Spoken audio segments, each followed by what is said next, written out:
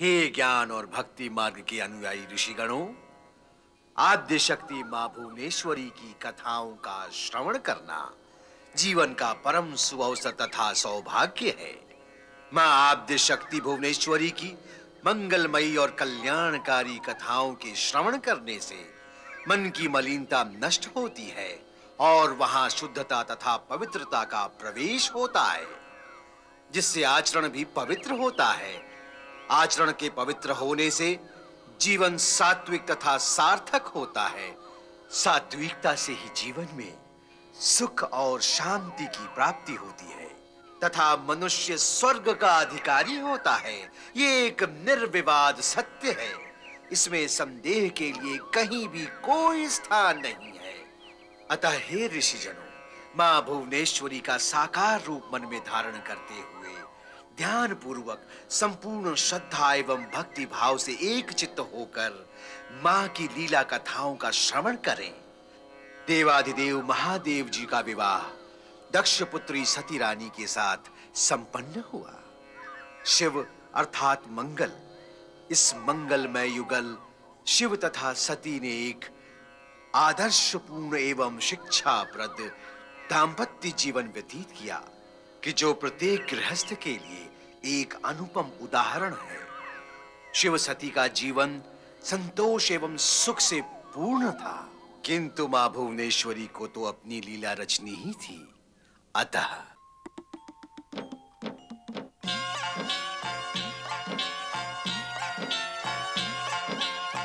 जग भंग का लोटा अरे ये जग भंग का लोटा पी लो छोटा हो या मोटा। ये जग भंग का लोटा पी लो छोटा हो या मोटा। मन को आनंदमय बनाए, दिन में ही यह तारे दिखाए। काम न हो कभी खोटा, ये जग भंग का लोटा। पी लो ये जग भंग का लोटा पी लो छोटा हो या मोटा। ये जग भंग का लोटा पी लो छोटा हो या मोटा।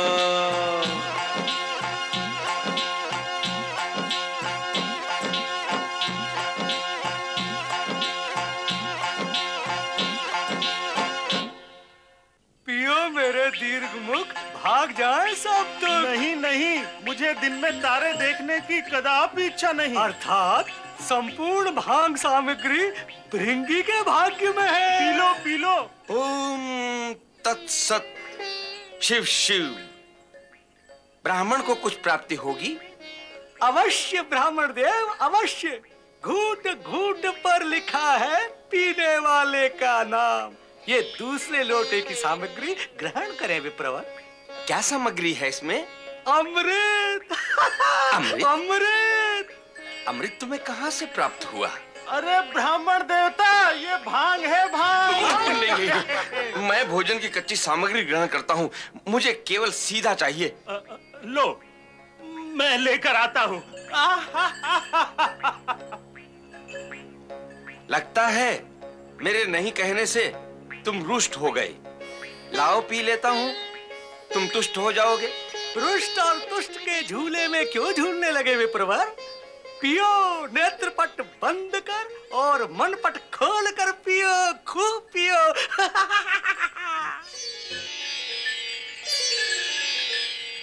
अतिथि देवो भव। स्त्री नारी सर्वनाश। चली जाओ चली जाओ यहाँ से। मुझे नहीं चाहिए तुम्हारे हाथ का दिया हुआ सीधा। क्या हुआ याचक? स्त्री के प्रति ये घृणा किस लिए? क्योंकि तुम मोहिनी हो माया हो वासना का मूल हो। ओ ब्राह्मण अपनी अपवित्र जीवा को अपने मुख के भीतर ही रखो। बड़ी दुर्गंधमयी है। तुम जानते नहीं किसके सामने खड़े हो। ठहरो नंदी। हे नारी विमुख ब्रह्मदेव मेरे प्रश्न का उत्तर दोगे? अवश्य दूँगा। किंतु स्त्री का अर्थात तुम्हारा मुख नहीं देखूँगा। अब आगे हो तुम। असत्य कहोगे तो पाप के भागी होगे। सत्य कहो।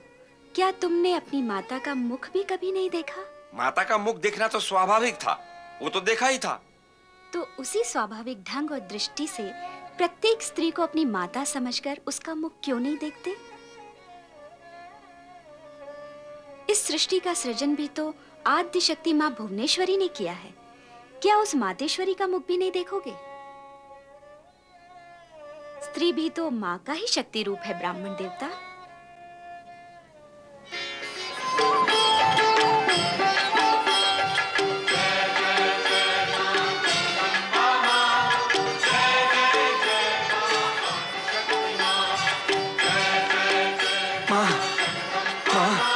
इस अज्ञानी को क्षमा करो माँ।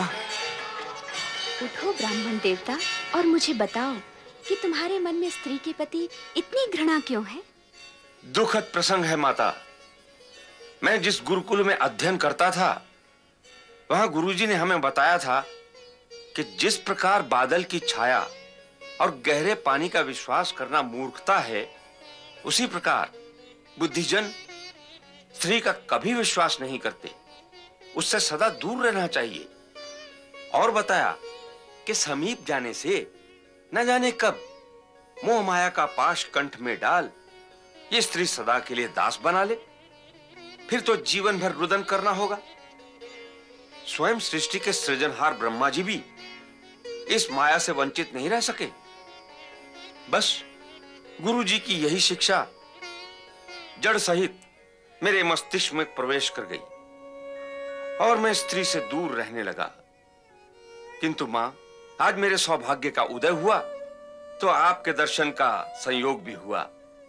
आपने मिथ्या का अंधकार दूर कर सत्य का प्रकाश किया है। मैं धन्य हो गया माँ। अब तो मेरे हाथ का सीधा लोगे ना? अवश्य ये तो मेरा सौभाग्य है। ब्राह्मण देवता के तो सुर ही बदल गए।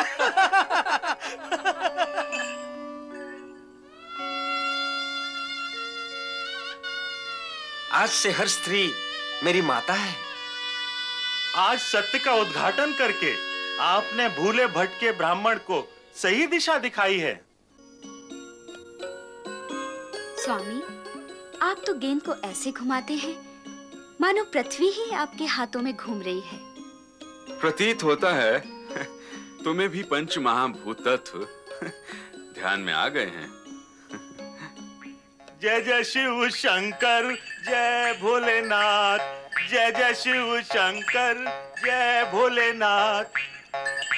भगवान हिमालय राजा और मैना रानी पधारी हैं। उन्हें सम्मान पूर्वक यहाँ ले आओ। जो आज्ञानाथ आओ पधारो राजन अभिनंदन। आओ पधारो राजन अभिनंदन। आओ पधारो राजन अभिनंदन।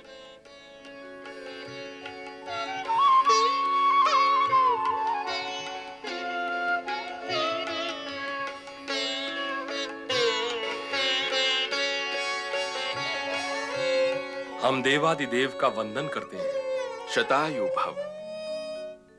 कहिए इस दिशा में कैसे भूले पड़े? भूले नहीं हम आपके दर्शन करने आए हैं। भला हिमालय में रहते हुए हम कैलाशनाथ को कैसे भूल सकते हैं? मैं आपको वंदन करती हूँ। माँ माँ माँ माँ। माँ तुमने मुझे माँ कहा। माँ जितनी बड़ी है तो माँ ही हुई ना? माँ शब्द संबंध और संबोधन मुझे बहुत प्रिय लगते हैं। आहा मन प्रसन्न हो गया। तुम्हारे मुख से मधुर और सार गर्भित वचन सुनकर। यदि मैं तुम जैसे पुत्री को जन्म दे सकूँ। अवश्य ऐसा अवश्य होगा। कारण? सती रानी के मुख से निकले वचन सदा सत्य और सार्थक होते हैं।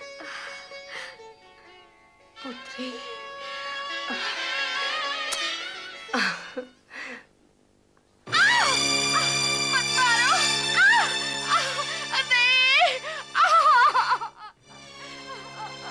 रक्षा करो माँ रक्षा करो। तू मरे इसीलिए तुम्हें मार रहा हूँ। मार।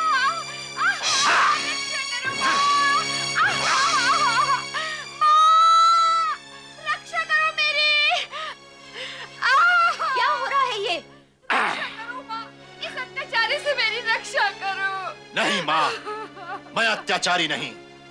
ये शंखनी बड़ी कर्महीन है और सारे दिन प्रमाद में पड़ी रहती है। मैं वन में लकड़ी काट कर एकत्रित करता हूँ और ये गट्ठर भी बांधने के लिए तैयार नहीं। नहीं, माँ, नहीं। मैं कर्महीन नहीं हूँ। मैं गट्ठर बात और उठा नहीं सकती। मेरा सारा शरीर ज्वर से पीड़ित है। मैं ज्वर की अग्नि में जल रही हूँ, माँ। हाँ सती रानी इसे तो बहुत तेज ज्वर है। ये झूठ है। तुम अपनी जीवन संगनी को पशु समझते हो? पत्नी को पशु समझकर मारते हो? इसकी मार कैसी असह होती है? इसका अनुभव तुम भी तो करो। लो झेलो इसकी पीड़ा। नहीं माँ नहीं नहीं। ये भला बुरा जैसा भी है। मेरे सौभाग्य का धनी है। इसे मत मारो मत मारो माँ। देखो निर्लज प्राणी आँख खोल कर देख। तू जिसे मार रहा है वो तुझे बचा रही है। ये तेरी मार तो सह सकती है मगर तू किसी दूसरे की मार खाए ये सहन नहीं कर सकती। कितनी आदर्श पत्नी पाई है रे तूने। ये तेरी मार खाकर भी तेरा रक्षण कर रही है। मेरा अपराध क्षमा करो माँ। अज्ञान में मैं ये भूल कर बैठा। भविष्य में ये भूल नहीं होगी। विशाखा इसे भवन में ले जाकर इसकी चिकित्सा कर देना।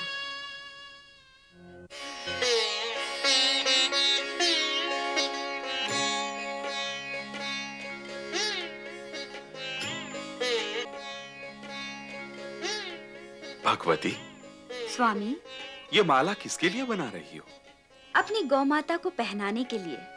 आज कार्तिक मास के शुक्ल पक्ष की एकादशी है। आज के दिन गौ पूजन का बड़ा महत्व है। गौ माता को गेहूँ घी गुड़ के लड्डू खिलाने से वो अधिक दूध देती है और उनके गोबर की खाद से कृषि का उत्पादन बढ़ता है।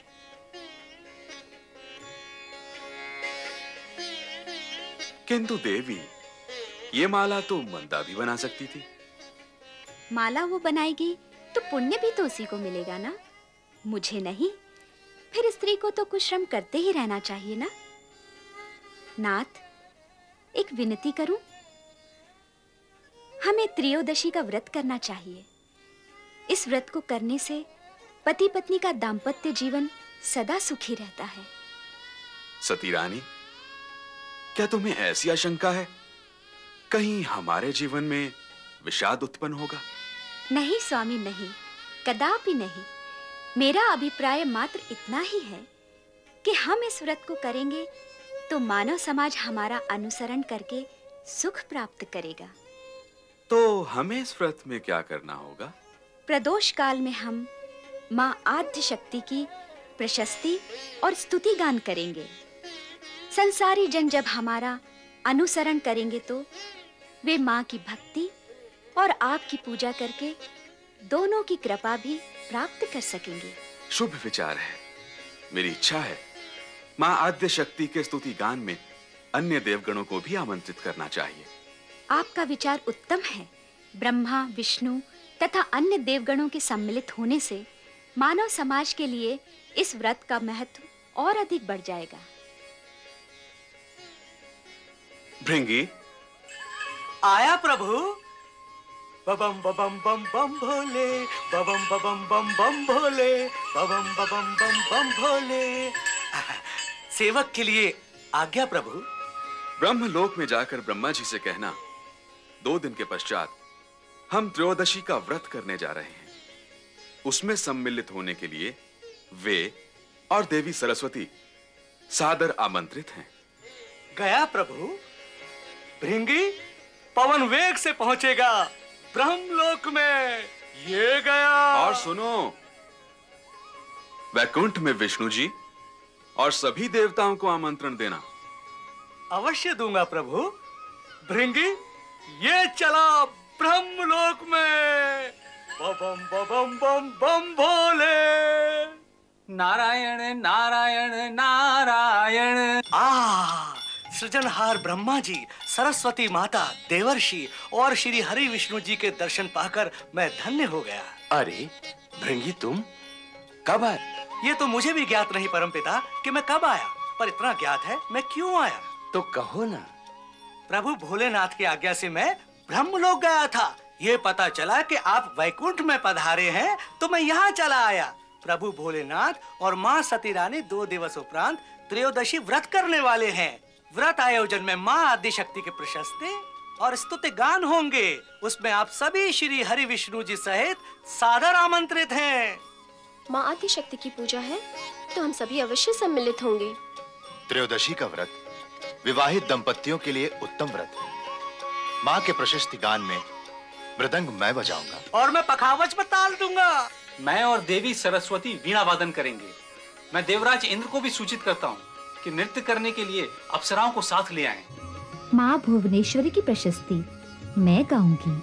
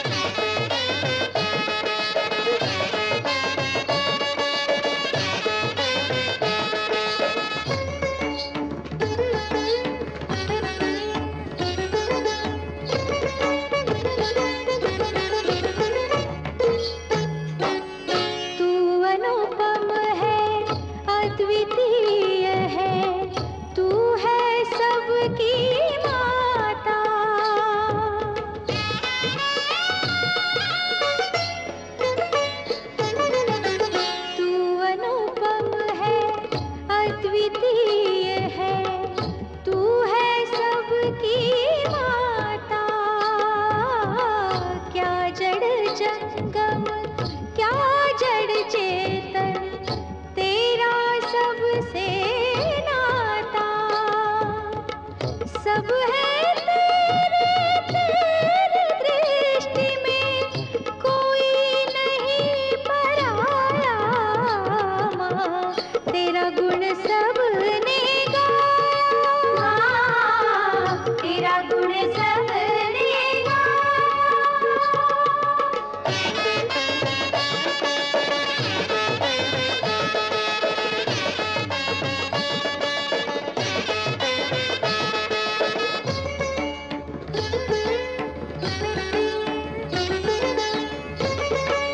Música